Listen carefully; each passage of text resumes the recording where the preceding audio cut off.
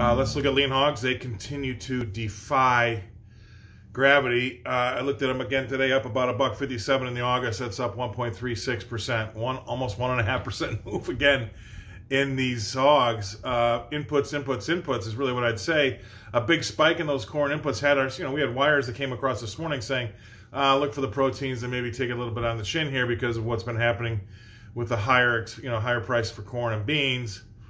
Uh, but no, this uh, this one continues to plot ahead and in a strong manner. So even though we were getting ready for maybe some negative action today, when you see this, uh, when you see these markets like lean hogs outperform, when you think maybe they might be tailing off a little bit because of higher input prices, it does mean they're they're really strong. So we're we're moving into some recently uncharted upside territory. And it seems like we get these fundamental moves in this market that take us higher, and then the, the technicians kind of go for these these uh, new highs. So uh, that continues to mean good strength to me when we've got the fundamentals lining up at the same time as the technicals. The technicals are trying to make these new highs in it. So we've got some uncharted upside territory in these technicals, and we're, we're, we're, we're plowing ahead. Lastly, um, you can't ignore the fact that the dollar uh, is cheap. We're below that 90 level. We're bouncing around 89 and change. Um, remember, the 52 week low is 89.21.